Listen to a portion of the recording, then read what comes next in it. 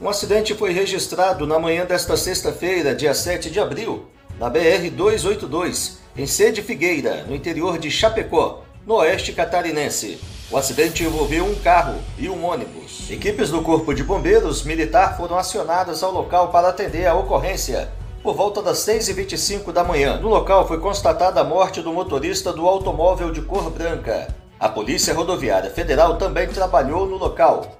De acordo com o policial Joselito Novaes, os veículos bateram de frente, sendo que o motorista do veículo não resistiu aos ferimentos. Novaes explicou ainda que, devido ao acidente, a pista precisou ser interditada, mas foi feito desvio para os motoristas que passavam pela localidade. As causas prosseguem sendo apuradas e periciadas. Se inscreva no nosso canal e ative o sino. Canal Leandro Ferreira. Credibilidade com a notícia.